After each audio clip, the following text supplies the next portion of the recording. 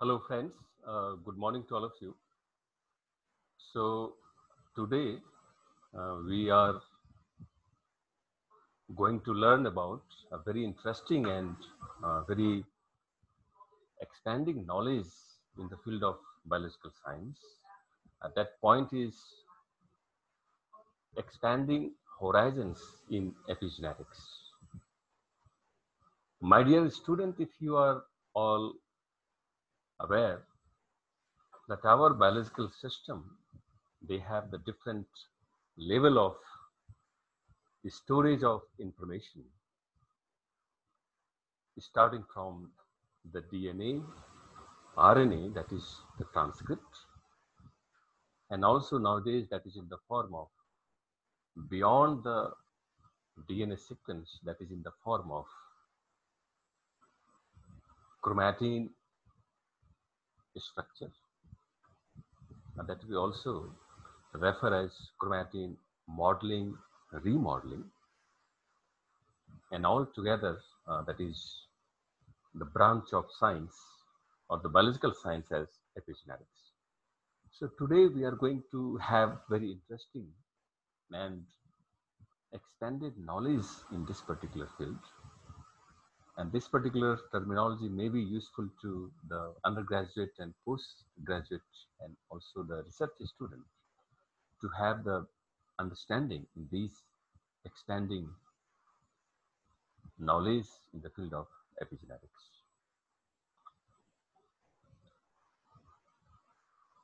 If you look at in epigenetics, there are few buzzwords and keywords are noticed either in your research paper or in your textbook or any part of your knowledge and these are in the form of the most four important players and that we can say epigenetic players that shape up our epigenetic mark or signature in a particular cell system. And these are writers erasers, readers, and very recent, that is another component, is being proposed or already being discovered as molecular recorders. Even our lab, we have proposed way back in 2017 the existence of molecular recorders that record all these events, whether in the form of transcriptional events whether in the form of chromatin modeling and remodeling events. If you look at my dear friend in a very precise term, writers are a part of our cell system. These are in the form of the enzymes that play an important role to write in the chemical languages. Chemical languages means what here? If you look at the DNA or histone protein, they are going to be chemically written in the form of like methylation, in the form of acetylation like on your histone protein.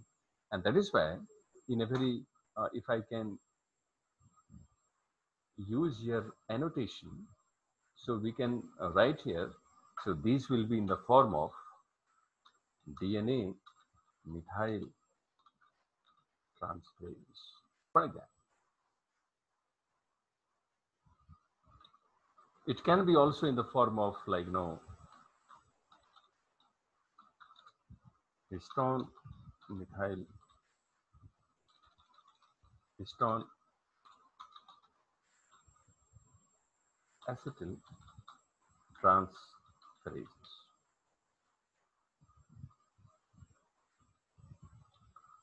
That means these enzymes are playing important role to allow our DNA and the chromatin structure, including histone protein, to be written in the form of a, a mark or signature or a chemical languages. That is methylation and acetylation.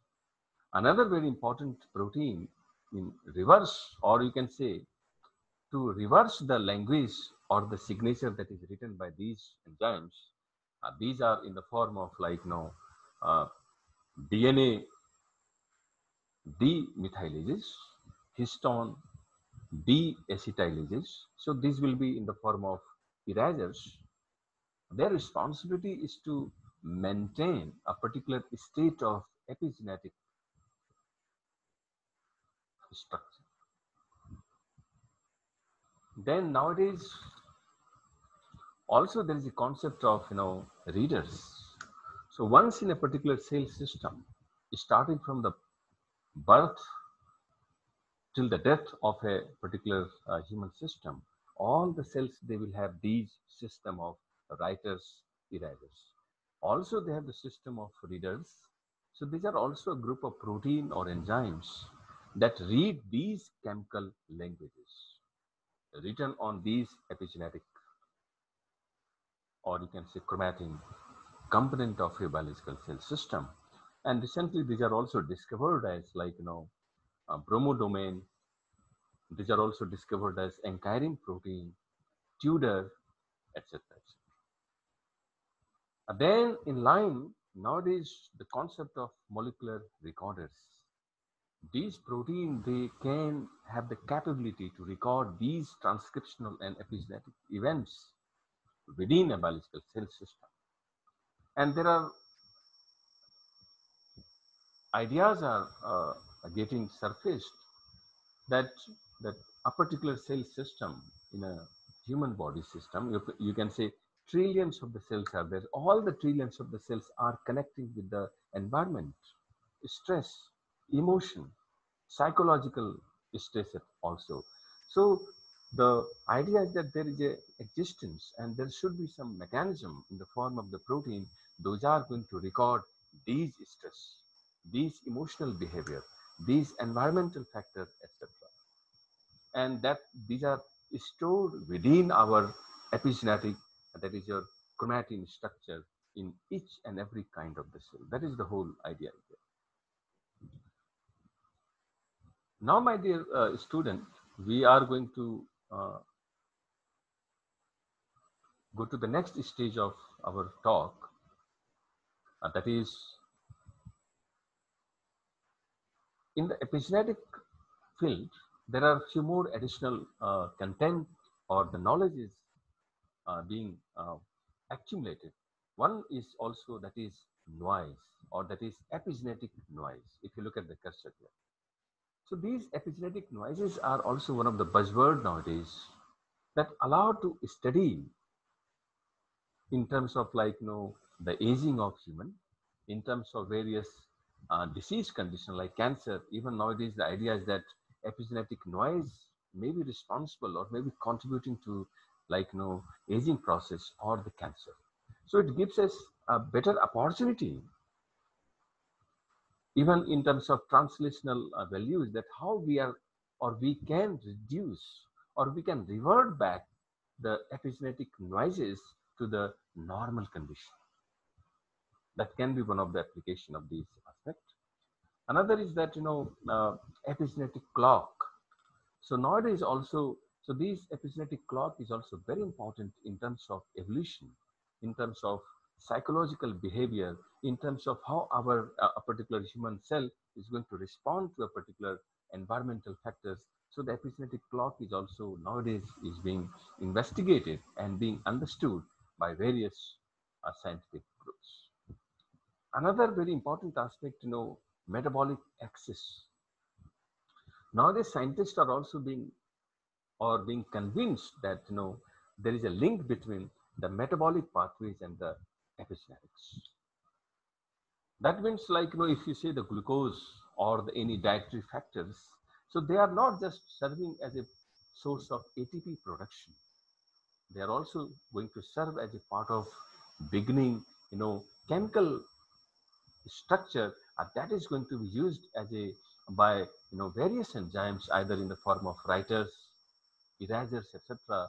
to change the epigenetic mark in our chromatin structure. Altogether, if you look at epigenetic noises or clock or writers, readers, etc., what we have proposed also in 2017 that the existence of epigenetic hard drive uh, that was in the form of And we propose that epigenetic hard drive is a part and parcel of each biological cell system from the birth till the death. All the events, including the, you know, the emotional, psychological, environmental, pathogenic, all the events are being recorded by each and every biological cell in a particular human body system uh, that are being stored in a epigenetic hard drive format. Then a question was there, you know, what will be in reality the existence of epigenetic hard drive? And in that direction, we uh, proposed a model of what will be really a epigenetic hard drive by making a comparison with the spring model and the chromatin model. If you look at my dear friend, uh, chromat uh, spring, a coiled structure. So if how many times a particular spring is going to be twisted and untwisted, normally we can record, we can count how many twisted, how many times twisted and untwisted.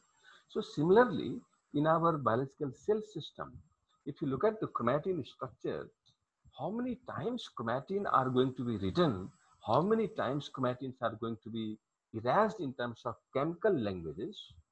In case of, you know, uh, spring, if you look at, in the spring, there is a mechanical language where the, the spring is going to be twisted and untwisted. If you look at the cursor here. But in case of chromatin, what we are referring here, these are, these are in the form of chemical languages. Whether it is possible that all the, you know, this modification in our chromatin is going to be recorded. And if it is yes, and how it is going to be stored within a particular biological cell system. What we propose and we believe that there should be in reality on the existence of molecular recorder. If you look at the literature nowadays, uh, there are reports on various nucleases, various enzymes that are going to facilitate to record the transcriptional event in a biological cell system. Even in a very recent, uh, in a bacterial system, there is a report on uh, creation of a particular recording or you can say molecular recorders that can record all the responses by bacterial cell towards the environmental factors.